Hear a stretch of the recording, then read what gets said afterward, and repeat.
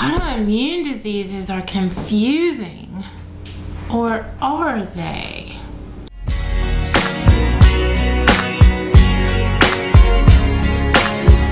March is National Awareness for Autoimmune Disease. It's Awareness Month for other diseases as well, but I figured this was a really good time to talk to you about what autoimmune disease is. More accurately, what are autoimmune diseases? Because autoimmune disease is an umbrella term that includes a lot of different diseases, a very lot of different diseases.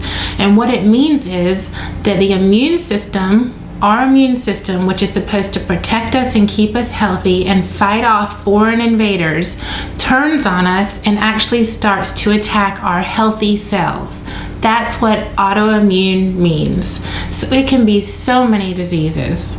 So, what are some?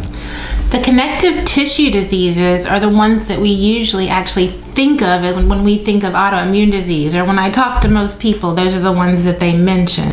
It's just a type of tissue throughout our body, but it's all throughout our body in different areas. You know, we've got four different types of tissue in our body. We've got muscle, and we've got epithelial, which is mostly what our skin is made of, but also the lining of our organs.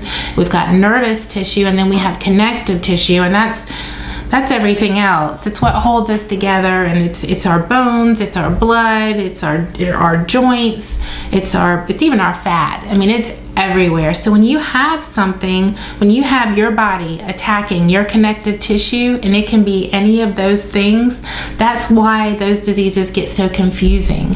They're usually treated primarily by rheumatologists, but because so many body organ systems can be affected, and I'm talking about things like lupus here, where it can affect the kidneys and the brain and the skin, and that's why they end up seeing so many specialists because they've got so many systems that are really, really affected. So again, those are like lupus, and then you have RA where it, there's it's a connective tissue disease, but primarily the joints are being affected. Sjogren's syndrome, another connective tissue disease, but primarily are the hallmark thing for that one is destruction of the glands that secrete tears and the salivary glands that um, secrete saliva, so they've got really bad dry mouth and dry eye complications. What are other autoimmune diseases though? We've got type 1 diabetes, where your own body is attacking the insulin producing cells of the pancreas. You've got Crohn's disease, where your own body or your own immune system is attacking the intestinal system. You've got MS, multiple sclerosis, where someone's own body is attacking their nervous system. There's vasculitis, where the body is attacking its vessels.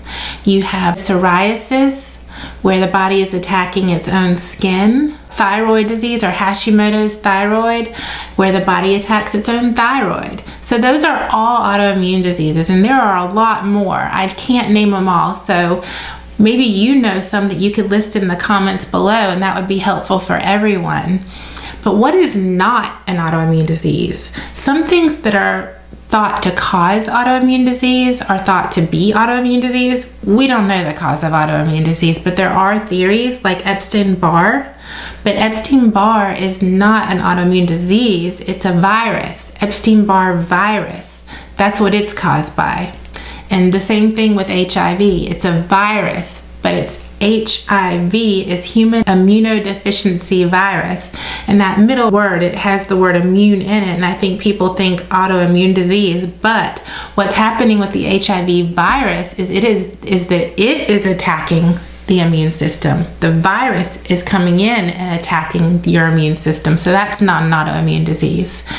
And you know, back to what causes all this, we just don't know. We think there's a genetic link and an environmental trigger, and there are so many theories. You probably know this. So it's we don't know. The genetic link is actually interesting. It's not necessarily that if your mom had RA, you're going to have RA. It's more like if your mom had RA, you might have lupus, and your daughter might have Sjogren's syndrome and Raynaud's disease and, you know, vasculitis. And, you know, maybe her sister ends up with Crohn's disease. And, you know, grandma had something else, but they're all autoimmune diseases. That seems to be the genetic link that we see um, so far with research. But time will tell. We'll see autoimmune diseases. There are so many. It's obviously strongly impacting our country. I mean, I think RA is a leading cause of disability in the United States. It's it's very disabling. It's very it touches almost everyone's life. In fact,